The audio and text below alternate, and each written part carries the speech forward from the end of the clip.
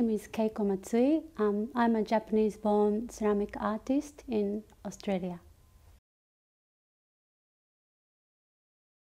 Every time I open my studio door, my heart springs. Um, I feel happy and calm. Um, I've never felt um, like that before in my any of my previous studios.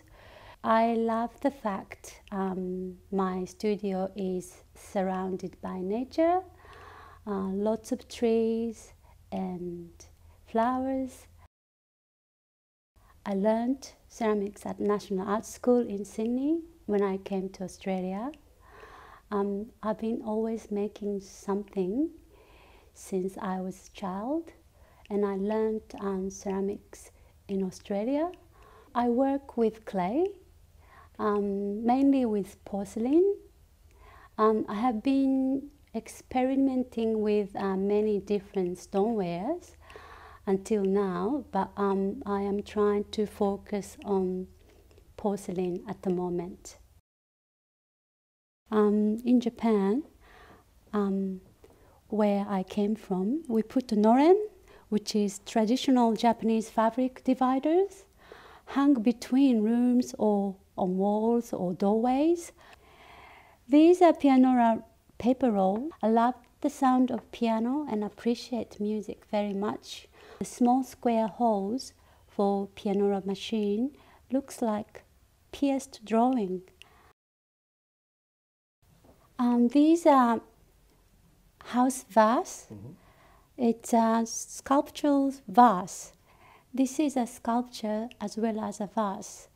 In Japan, we put single flower or branch into a small vase and appreciate the nature. The gold line mending is called kintsugi. That's Japanese art of repairing broken ceramics. We, instead of um, hiding breakage, we actually embrace the imperfection.